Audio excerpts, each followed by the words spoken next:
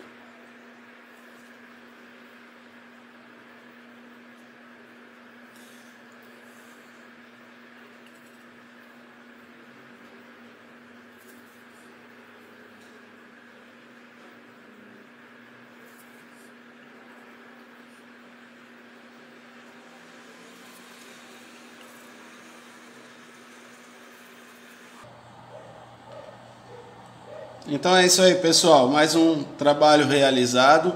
Aqui um peixe em aquarela, né? Que é o godezinho com as tintas. Foi usado pincéis, esses três pincéis aqui. Aqui, ó, né? E o papel é papel canson, esse papel canson simples. Não deixe de curtir o nosso vídeo, dá o seu joinha, compartilha e se inscreva no nosso canal de Arte e Cultura. Um grande abraço a todos e até o próximo vídeo.